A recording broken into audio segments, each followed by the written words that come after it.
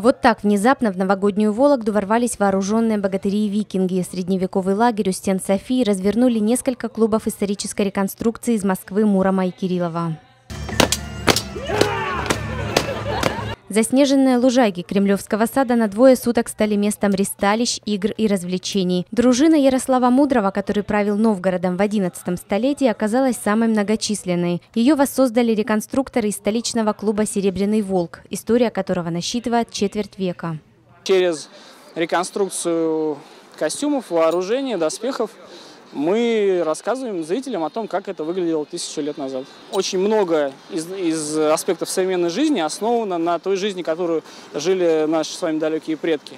Такие ретроспективы позволяют не повторить ошибок прошлого, считают дружинники. Гости богатырской деревни смотрят на вещи проще, примеряют их.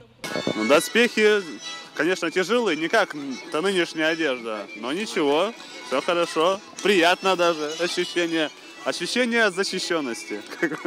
Кстати, почти все предметы быта и одежды – точные копии оригиналов, сделанные вручную. Мы очень много работаем с археологической литературой, с, а, вот на раскопках присутствуем. Если мы делаем какую-то вещь, да, копию средневековую, мы берем археологическую находку, да, и по ней делаем уже вот реплику, можно сказать. Реконструкция еще и метод обучения подрастающего поколения, ненавязчивый и увлекательный, кузнечному делу, например. Заостряем оба конца и закручиваем спиральку.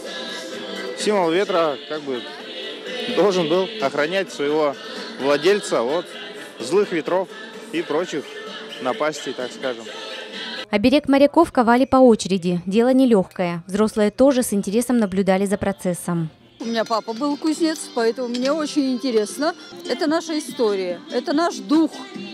Поэтому все, что здесь, вот это действие, это наш дух. Не знаем истории, значит не имеем будущего.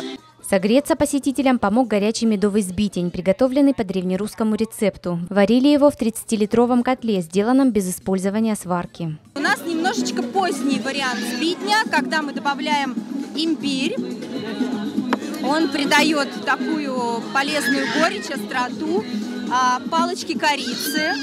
А, здесь у нас анис а, и Э, апельсиновая цедра. В основе мед, а еще лимон для кислинки. Напитком угостились и взрослые, и дети. Приехал с женой, с детьми, вот. Посмотрел только богатырей, потому что долго спали с дороги. Ну, пока все хорошо и нравится очень.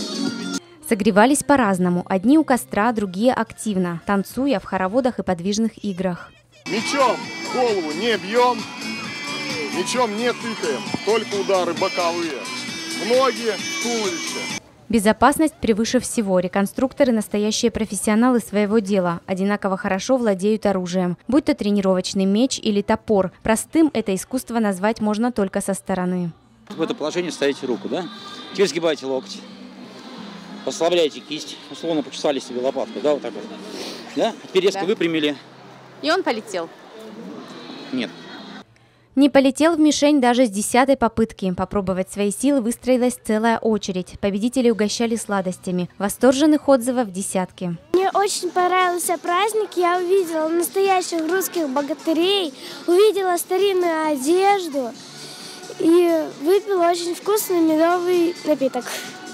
Погружение в историю волокжанам и туристам подарили городские власти. Праздник – часть масштабного проекта «Рождественская сказка в Вологде». С 30 декабря до 8 января для волокжан и гостей города десятки праздничных событий. Это и киношные трюки и спецэффекты от ярославских каскадеров, и зимний фестиваль спорта. Рестораны в новогодние каникулы радуют гостей гастрономическими мастер-классами. 7 и 8 января в Вологде пройдет фестиваль вертепных театров. Все праздничные точки размещены на интерактивной карте проекта «Рождественская сказка в Вологде, который получил статус национального события России.